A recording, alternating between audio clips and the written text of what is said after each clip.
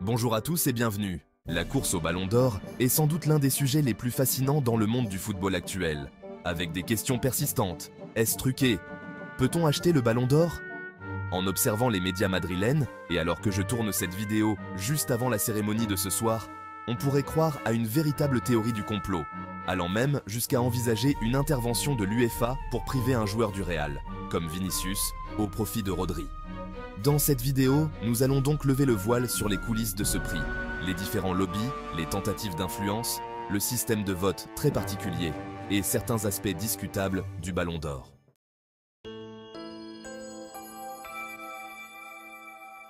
Avant de plonger dans les détails, rappelons d'abord comment fonctionne le examen du Ballon d'Or. Beaucoup semblent ignorer que le vote est déjà terminé depuis un moment. Soyons clairs, le Classico ou tout autre événement récent n'a aucun impact sur le résultat final. Quant à l'UEFA, même si elle est partenaire du Ballon d'Or, elle n'en décide en aucun cas.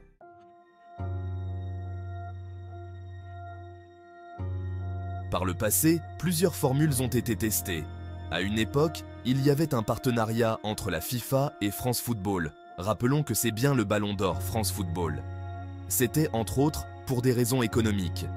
D'abord, seuls les journalistes votaient, puis cela a évolué pour inclure les capitaines et sélectionneurs des différentes nations.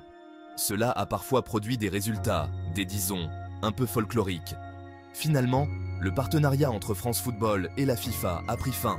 À ce moment-là, France Football cherchait à générer des revenus supplémentaires, ce qui a conduit l'ancien rédacteur en chef, Pascal Ferré, à visiter le Qatar et l'Arabie Saoudite, dans une tentative d'apporter des financements. Le Ballon d'Or étant la propriété la plus bankable de France Football, il a attiré des sponsors et des partenariats.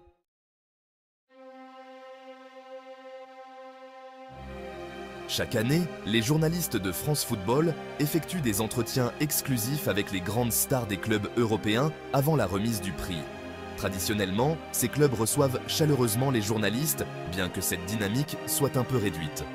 Par exemple, récemment, Valverde du Real Madrid a été interviewé dans France Football, offrant des contenus précieux pour les lecteurs. Cependant, il a été révélé, notamment par Mediapart, que Pascal Ferré aurait été impliqué dans des opérations de lobbying du Paris Saint-Germain et du Qatar, soulevant des questions sur l'indépendance des choix éditoriaux. C'est lui qui a introduit la nouvelle formule de vote du Ballon d'Or, un an et demi avant de quitter le magazine.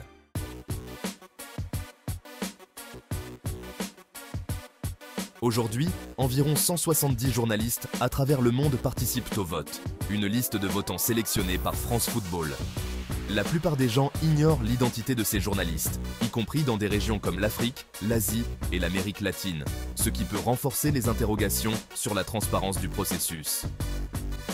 Comme il est impossible de réunir tous les journalistes physiquement et qu'ils n'ont pas les mêmes interactions que les fédérations sportives, il devient difficile d'influencer le processus, d'autant plus que les journalistes de France Football n'ont pas le vote final pour le Ballon d'Or. Ils sont cependant responsables, avec l'équipe, de l'élaboration de la liste des 30 nommés à laquelle contribue Didier Drogba en tant qu'ambassadeur et les deux journalistes ayant fait les meilleures prédictions de l'année précédente. On peut influencer cette liste, mais non le vote final, qui reste très dispersé. Récemment, des changements ont été apportés. La sélection des votants se limite désormais aux 100 premiers pays du classement FIFA, avec un journaliste par pays, notamment ainsi le nombre de votants à 100. Cette nouvelle approche, justifiée par des besoins de cohérence et de clarté, a évoqué des critiques. Pascal Ferré a avancé que les pays exclus, souvent plus petits, auraient une culture footballistique moins développée, une explication qui a aussi soulevé quelques controverses. Ainsi, certains pays comme Haïti seraient perçus comme ayant une culture footballistique moins forte, ce qui justifiait leur exclusion.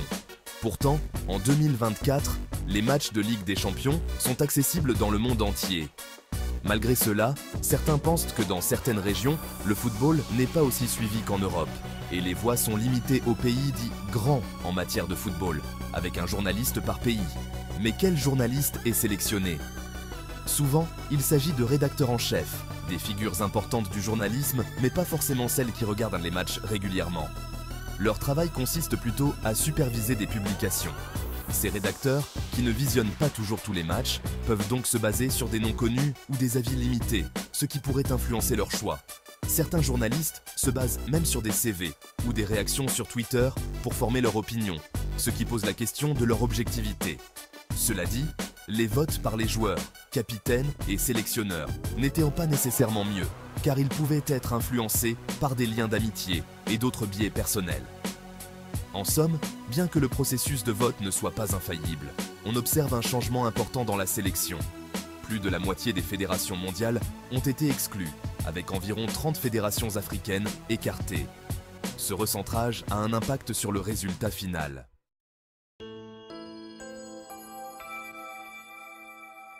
Le examen actuel repose donc sur une liste de 30 noms établis par France Football selon trois critères. Les performances individuelles, les performances collectives et le fair play.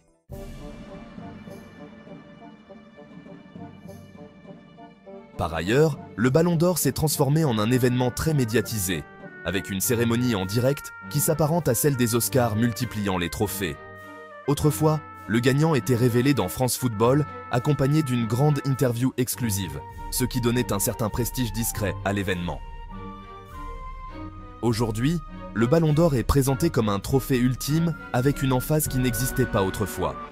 Le Ballon d'Or est devenu si sacralisé qu'on dirait qu'il a dépassé l'importance des titres collectifs, ce qui est un phénomène assez frappant. Dans des sports comme le basket, où l'individualité est de forte, le titre de MVP est moins valorisé qu'un championnat NBA. Pourtant, dans le football actuel, on a l'impression que le ballon d'or est devenu plus précieux que le succès collectif. Cela en dit long sur l'évolution du sport ces dernières années. Je vais maintenant continuer à parler du système de vote et du lobbying autour de cette récompense. En effet, tous les clubs s'engagent un peu dans le lobbying, mais ils n'ont pas de contrôle sur qui vote. En dehors du patron actuel de France Football, qui sait réellement qui va voter Et à part le fait que l'UEFA ne serait pas impliqué dans un complot, il est important de comprendre que cela ne bénéficie pas à France Football si Vinicius ou un joueur du Real Madrid remporte le ballon d'or. Un joueur de Manchester City serait plus vendeur pour le magazine, notamment en termes d'interviews exclusives. Cela n'a donc pas de sens d'un point de vue économique et d'image.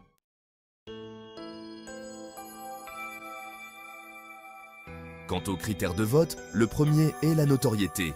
Il est possible que les 100 votants ne suivent pas tous les matchs en détail, ce qui signifie que leur jugement peut être influencé par ce qu'ils connaissent. Par exemple, l'année dernière, Messi a remporté le prix, ce qui a été controversé, puisque City avait tout gagné, y compris le triple. Chacun peut avoir son opinion sur les vainqueurs du Ballon d'Or. Cette année, certains pourraient argumenter que Carvaral, qui a tout gagné, la Liga, la Ligue des Champions et l'Euro avec l'Espagne méritent le titre. Ces discussions sur les critères de sélection sont courantes. La notoriété est cruciale dans ce contexte, tout comme l'image des joueurs. Les attaquants sont souvent favorisés par rapport aux défenseurs, ce qui peut susciter des critiques.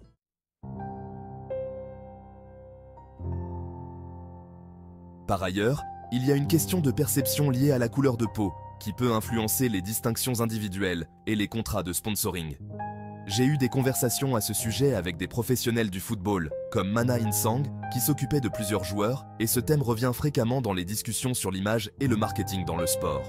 Mana Insang m'a fait part d'observations concernant la disparité dans les contrats publicitaires entre les joueurs, mettant en lumière des différences qui peuvent sembler injustes. Des cas comme celui de Sadio Mané, dont le classement a été remis en question, soulignant que la perception des joueurs peut influencer les votes. C'est un facteur qui, même s'il n'est pas déterminant, joue un rôle. En ce qui concerne Vinicius, les opinions des journalistes varient. Certaines influencent son style de jeu, tandis que d'autres critiquent son attitude. Cela peut également être lié à la génération des votants. En résumé, il ne s'agit pas d'un complot orchestré par France Football, car cela n'aurait aucun sens économiquement. De plus, l'UEFA n'a pas le contrôle sur le scrutateur.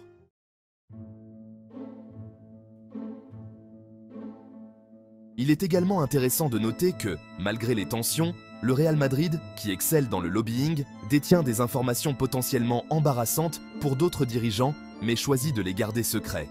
Cela illustre bien l'hypocrisie qui règne dans le monde du football. Par ailleurs, les représentants de Vinicius, notamment ceux de Rock Nation, jouent un rôle important dans son image et sa carrière. Dans le milieu du football, bien souvent, les apparences peuvent être trompeuses. Tout le monde discute, mais rares sont ceux qui connaissent les véritables rouages du processus. Cela crée une terre fertile pour les mythomanes.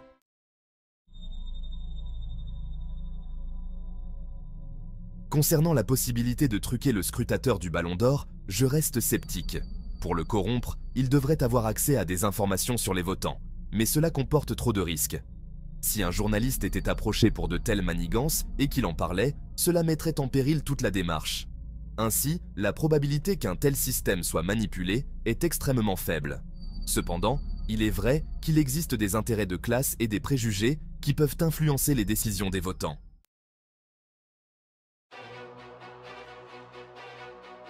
Le véritable problème réside davantage dans le mode d'examen lui-même et l'obsession généralisée pour les distinctions individuelles dans un sport qui, par essence, est collectif.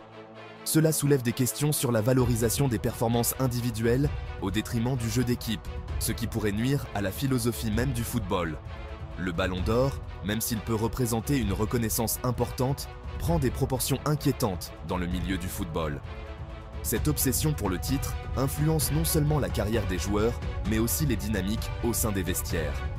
De nombreux joueurs, en particulier ceux qui sont fans de la NBA, voient les choses différemment. Ce qui compte vraiment, ce sont les titres collectifs, comme les Ligues des Champions ou les médailles avec leur sélection nationale. Cependant, cette frénésie autour du Ballon d'Or crée des tensions et peut dénaturer l'esprit d'équipe.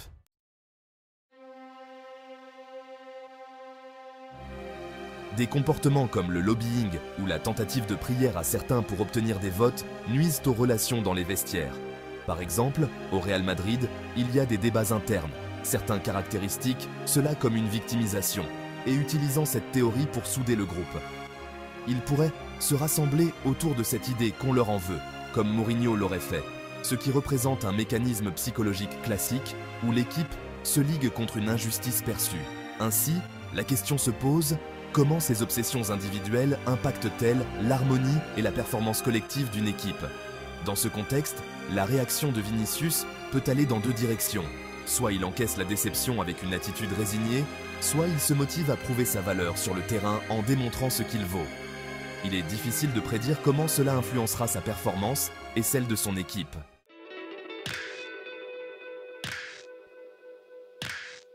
En fin de compte, en examinant l'évolution du examen des deux dernières années, il est clair que cela n'a pas vraiment amélioré la réputation de cette distinction, qui pourrait, à la base, être considérée comme prestigieuse.